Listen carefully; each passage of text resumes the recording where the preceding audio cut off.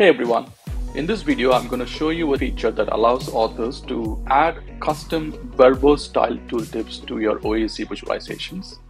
When you hover over a mark on a visualization, we display the tooltip of the selected mark and the tooltip displayed by default is based on the grammar definition of the visualization. The new feature allows the author to provide styling to tooltips as you can see on this horizontal bar chart where the cells and the top 10 city by cells is formatted using specific color coding. And you can also extend the tooltip to a more verbose custom style tooltips as displayed in this scatter chart. Now let's go to the edit mode and look at the experience for the tooltip editor.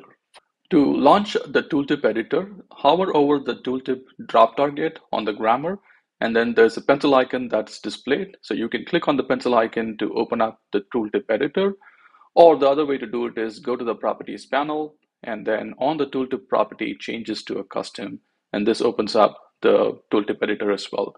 So let me keep the focus on grammar and open up the editor. The tooltip editor experience is pretty simple. By default, the editor shows tokens and is value pair for each of the columns in the visualization. For example, on the category axis, we have customer segment. So the first token provides the label name of the column on the category axis. And then the second token reflects the actual value of a customer segment when hovering over a mark in the visualization. The same kind of token pair is provided for all the columns in the visualization. Now, overlay chart is a layer chart. You can see that I have a stack bar layer and a line layer. So the user can add custom tooltips for specific layers and they can select the layers from the top menu and switch the layer to provide custom tooltips. Let's focus on stack bar. There are other formatting options uh, that you would normally expect in an edited tool that we've also provided.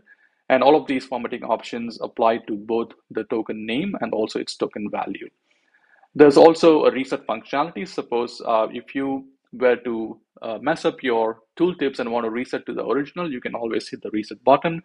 And then there's a preview functionality that helps the author to preview the custom tooltips and the formatted tooltips uh, before saving the changes.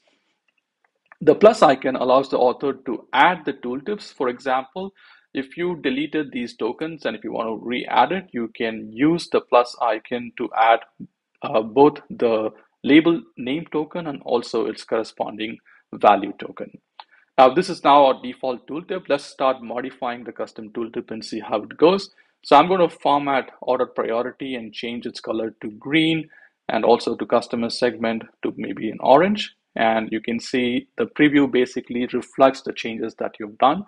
Let's go ahead and make a little bit of more change. So I want to make a verbose style tooltips. So I'm going to say the sales for the order priority and for this customer segment is, and I want to bring the measure, uh, so I'm going to copy the measure, or I might choose to delete them and insert it from here.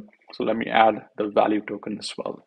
And let's go ahead and preview. And you can see that my token style is, my tooltip style is more verbose in nature, which says that sales for order priority critical and for this customer segment, consumer is uh, the equivalent of the sales dollar, right?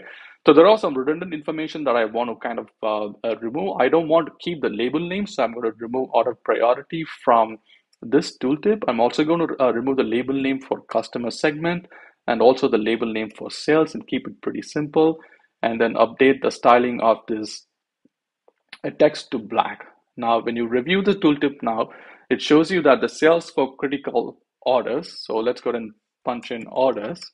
And for this customer segment is, a, you know, in this example, it's showing me the consumer customer segment is $86,000 approximately. Let's go ahead and make a little bit of change before we save it. I'm going to color code order priority to a green customer segment, also to a green, and then the measure to an orange. Let's do a final preview and let's click OK. Let's go to the consumer mode and then hover over on the stack bar and you can see that based on the specific stack that I am hovering over, the tooltip is context aware based on the token and it retains the custom formatting and just changes the value of the column name um, in the stack bar for the overlay chart. Thank you for watching this video.